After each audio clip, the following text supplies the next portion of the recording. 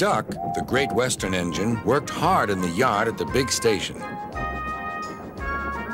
Sometimes he pulled coaches.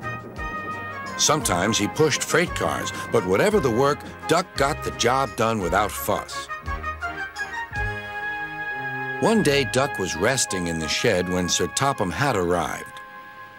Your work in the yard has been good. Would you like to have a branch line for your own? Yes, please, sir, replied Duck. So Duck took charge of his new branch line. The responsibility delighted him. The line runs along the coast by sandy beaches till it meets a port where big ships come in. Duck enjoyed exploring every curve and corner of the line. Sea breezes swirled his smoke high into the air and his green paint glistened in the sunlight. This is just like being on holiday, he puffed. Well, you know what they say, laughed his driver. A change is as good as a rest. Soon, Duck was busier than ever.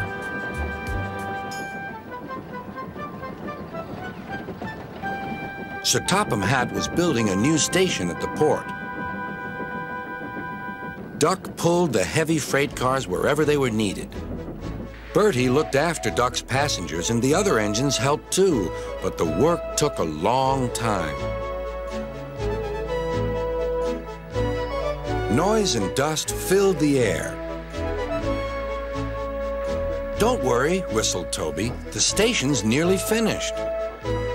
And on time, too, said Duck thankfully. Duck felt his responsibility deeply and talked endlessly about it. You don't understand, Donald, how much Sir Topham Hatt relies on me. Ach, aye, muttered Donald sleepily. I'm Great Western, and I... Quack, quack, quack. What? Ye heard? Quack, quack, ye go. Sounds like ye'd an egg laid. Now wheesht and let an engine sleep. Quack yourself, said Duck indignantly. Later, he spoke to his driver. Donald says I quack, as if I'd laid an egg. Quack, do you? pondered his fireman. He whispered something to Duck and his driver. They were going to play a joke on Donald and pay him back for teasing Duck. The engines were busy for the rest of the day and nothing more was said.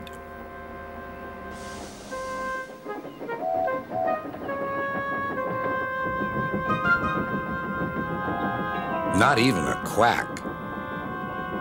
But when at last Donald was asleep, Duck's driver and fireman popped something into his water tank. Next morning, when Donald stopped for water, he found that he had an unexpected passenger aboard. A small white duckling popped out of his water tank. Now, do, who's behind this? laughed Donald. The duckling was tame. She shared the fireman's sandwiches and rode in the tender. The other engines enjoyed teasing Donald about her.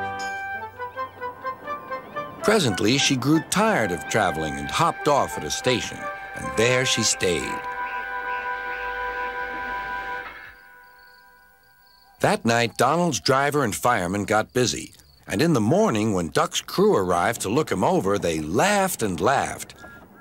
Look, Duck, look what's under your bunker. It's a nest box with an egg in it.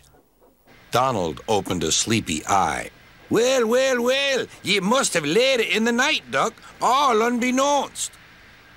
Then Duck laughed too. You win, Donald. It'd take a clever engine to get the better of you.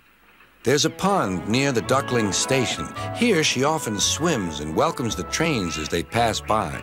The station master calls her Dilly, but to everyone else, she is always Donald's duck.